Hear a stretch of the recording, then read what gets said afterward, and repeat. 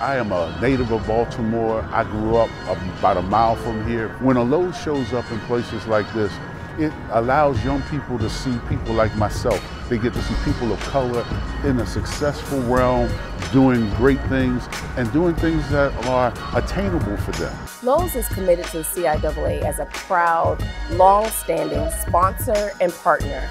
It's really important for us to show up in these spaces because we are committed to showing up into the communities where our associates live and work.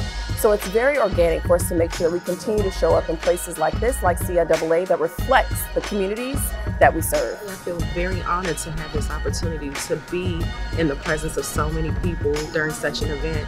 Um, of course, we know, you know, within the interior design industry, the black designers are actually on the rise. And for us to be, you know, embedded in this moment, of course, you know, that's a celebration within itself. I think Lowe's recognizes the value that HBCU alumni bring, especially with regard to its commitment to diversity. A number of our associates at Lowe's are HBCU grads. We see this as a recruiting opportunity, an educational opportunity for Lowe's to get its products out, like the Origin 21 line. What I really love about Origin 21 is that the sturdiness of their furniture pieces, um, and I love the color concepts of their collection. And so I feel like the Origin 21 collection, I mean, you can find whatever it is that you're looking for.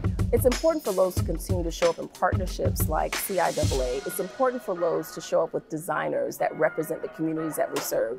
And it's important for Lowe's to reflect officers that are diverse like myself in the spaces because we want to make sure that everyone sees themselves and sees opportunities and experiences that shows the commitment that Lowe's really has to the African American community.